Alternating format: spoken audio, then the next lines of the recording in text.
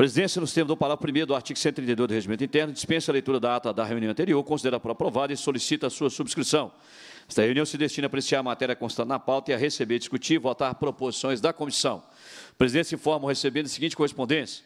Ofício da Polícia Civil do Estado de Minas Gerais prestando informações relativas ao requerimento 11.919-2022, de autoria do deputado João Leite, informando que todo e qualquer ilícito que chegue ao conhecimento da instituição é devidamente apurado por meio de instauração do competente procedimento policial e, após isso, encaminhado ao Poder Judiciário para os fins de direito. Ressaltou que foram realizadas pesquisas acerca das, de ocorrências policiais sobre roubo de material ferroviário da linha de responsabilidade VLI, compreendida dentro dos municípios de Lavra e Três Corações, e identificados os registros de ocorrências, números 20 e 21, que segue a relação dos números de ocorrência, sendo instaurado o devido procedimento policial a respeito de todos para que os ilícitos sejam apurados os fatos de classificamento. Cópia para o autor do requerimento, cópia da resposta.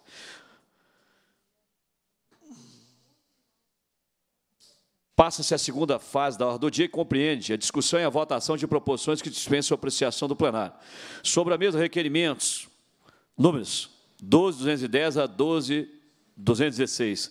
12.240, 12.244, 12.262, 12.263, 12.265 a 12.271, 12.280, 12.238 e 12.239, todos de 2022, em turno único, de autoria da Comissão de Participação Popular. Em votação os requerimentos, senhores deputados com aprovam, permaneçam como 50 aprovado.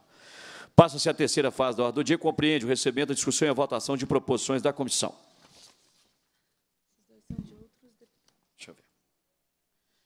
Voto de congratulação, tem uma do Bruno aqui também.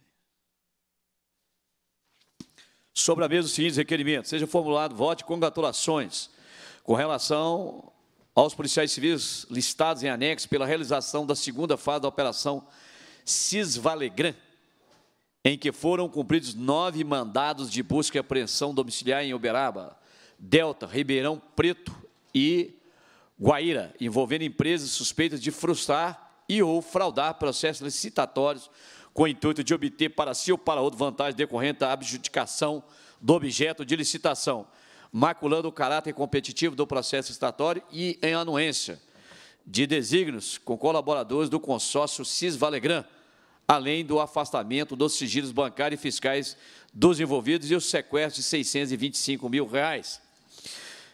Requerimento do deputado Ali Grilo. Outro requerimento, de autoria do deputado Bruno Engler, seja formulado voto de congratulações com o sargento Vita, o soldado Rafael Mota, o soldado Teixeira e o soldado Holiday, lotados no sexto pelotão GEPAM. O Grupo Especial de Policiamento Ambiental, pelo corajoso ato de prender no último dia 30 de 11 de 2022, no distrito de Pinhões, Santa Luzia, um dos maiores traficantes da região metropolitana de Belo Horizonte, conhecido como alcunha de Baiano. Querem ainda que seja dada ciência dessa manifestação aos congratulados. E aqui, apenas complementando, deputado Bruno, com a permissão de Vossa Excelência, também ao comandante-geral da Polícia Militar e que conste nos assentamentos funcionais dos referidos policiais. É a sugestão que faço a Vossa Excelência. Perfeitamente, senhor presidente. Como é que a gente faz? Faz emenda? O requerimento será lido e o deputado Bruno Engler vai apenas acrescentar aqui a sugestão dada no próprio requerimento, não será emenda, mas sim a própria sugestão acatada, é, que seja dada ciência aos congratulados, constando, para que seja constado na sua ficha de avaliação e desempenho dos próprios policiais militares, ou seja, os assentamentos funcionais, e ao comandante-geral da Polícia Militar. Em votação os requerimentos, senhores deputados que o aprovam, permaneçam como segundo, aprovados. Uhum. Eu já assinei. Eu. Ser esse aqui.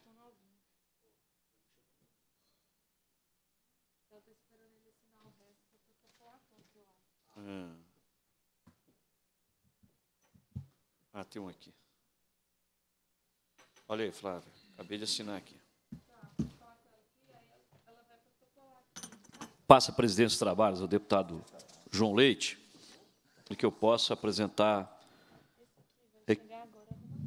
requerimento de minha autoria na verdade, o primeiro requerimento. O segundo, vou pedir que Vossas Excelências assinam conosco uma vez que trata de violação do regimento interno e competência da Comissão de Segurança Pública, sendo invadida mais uma vez pela Comissão agora do Trabalho. Então, esse não se trata de assunto da comissão, especificamente da atuação institucional da comissão, vou pedir Vossa Excelência e o deputado Bruno Henrique que assina.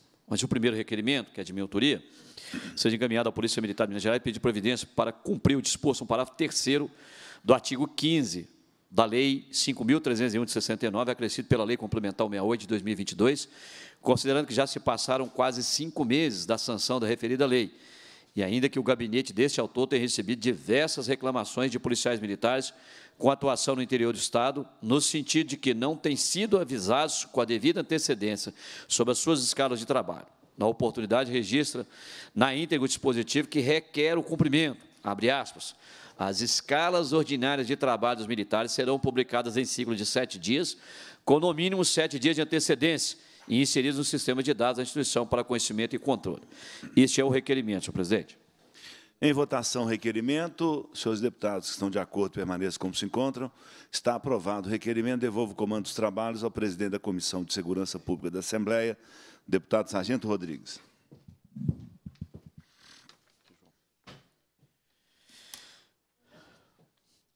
Outro requerimento, a qual eu é, acionei aqui os dois deputados Bruno e João Leite, é, temos hábito de estar vigilantes aqui na, no rol de competência da nossa comissão, quando ela é invadida, porque a permitir que as outras comissões façam o que bem entender do regimento interno, primeiro, deputado Bruno Engler, que deixe de cumprir um princípio norteador da administração pública, que é, é o princípio da legalidade.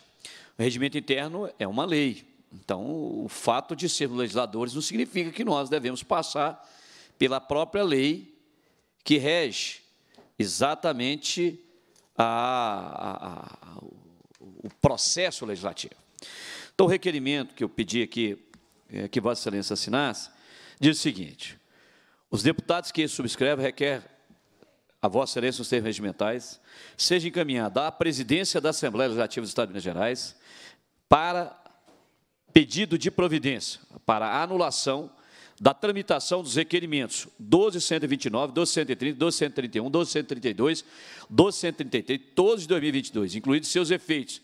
Requer ainda que os requerimentos de comissão aprovados em desacordo com as normas do devido processo legal, especificamente o artigo 102 do Regimento Interno, não sejam recebidos em plenário, Esclarece-se que as proposições acima mencionadas foram aprovadas durante a 16ª reunião extraordinária da Comissão de Trabalho da Previdência e da Assistência Social, que tinha por finalidade a realização de audiência pública, cujo tema também viola o regimento interno da Casa, debater a situação dos servidores da perícia criminal da Polícia Civil de Minas Gerais, bem como os candidatos aprovados em concurso público. O inciso 14 do artigo 102 do Regimento Interno define que cabe à Comissão do Trabalho, da Previdência e da Assistência Social tratar da defesa da promoção do trabalho, da assistência social, ou seja, da proteção social de pessoas e famílias no meio de serviço, programas e benefícios da assistência previdenciária, como a aposentadoria e a pensão, da proteção à família, à criança, ao adolescente e ao idoso. Por outro lado, o inciso 15 do mesmo dispositivo diz que compete à Comissão de Segurança Pública. A política de segurança pública, a política de combate ao crime organizado, a política carcerária, a política de recuperação e de reintegração social de regresso ao sistema prisional e a defesa civil, ou seja, não obstante a importância do assunto em questão, este não possuía nenhuma correlação com os temas afetados à Comissão do Trabalho, da Previdência Social e da Assistência Social. Desta forma, dia do exposto, conto com o apoio dos pares para aprovação do requerimento. Em votação, o requerimento. Requerimento assinado pelos deputados Bruno Engler, Sargento Rodrigues e João Leite. Os senhores deputados que o aprovam permaneçam com 50. Aprovado.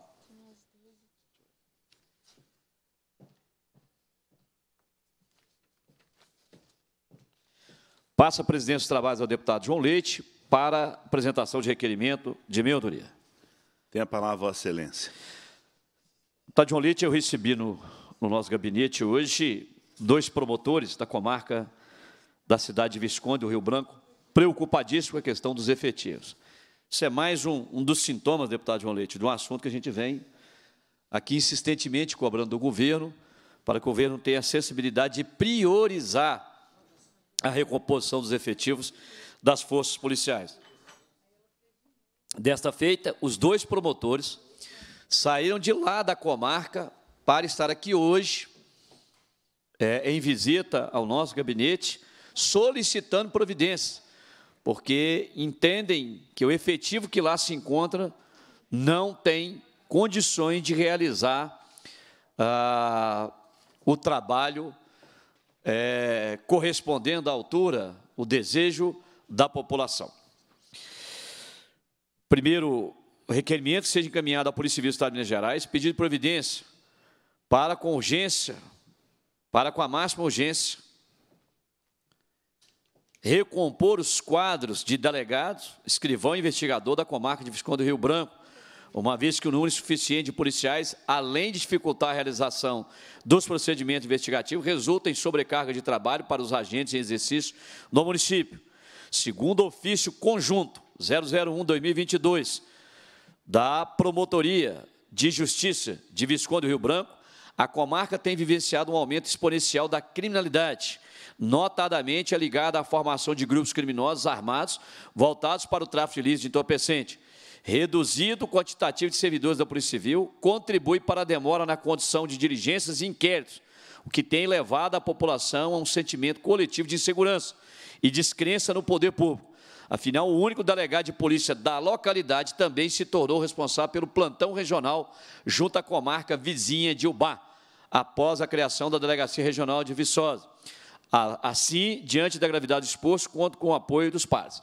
Solicitar a nossa assessoria que, além do, do requerimento ser dirigido ao chefe da Polícia Civil, também aos quatro integrantes da COFIM, CEPLAG, Fazenda, Segov e Secretaria-Geral do Estado. Outro requerimento, seja encaminhado à Polícia Militar de Minas Gerais pedir providência para ampliar com urgência o quadro de policiais militares da comarca de Visconde do Rio Branco, onde o déficit efetivo tem contribuído para a sobrecarga de trabalho dos servidores lá em exercício, bem como para o sentimento coletivo de insegurança e descrença do poder público. Assim, diante do exposto, contamos com o apoio dos pares para aprovação do requerimento. Também, da mesma forma, fomos procurados pelos ilustres promotores da Promotoria de Justiça da Comarca de Visconde do Rio Branco.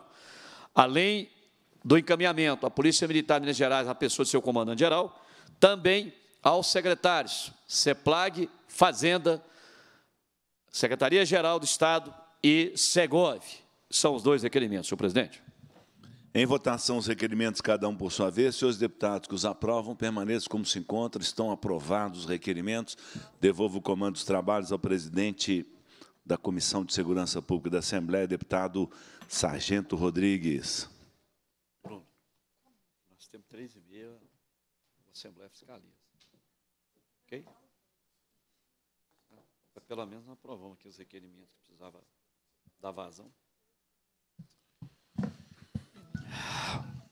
Presidência suspende os trabalhos por tempo indeterminado, até aproximadamente às 15h30 horas, para que a gente possa fazer a abertura da comissão. Tá. Presidência, considerando a necessidade de se abrir a, os trabalhos às 15h30 horas, para receber o comandante-geral da Polícia Militar, que virá aqui prestar conta dos trabalhos da sua pasta, presidência, cumprida a finalidade da reunião, agradece a presença dos ilustres parlamentares Bruno Engel e João Leite, determina a lavatura da ata e convoca os colegas deputados para a reunião de 15 e 30 horas.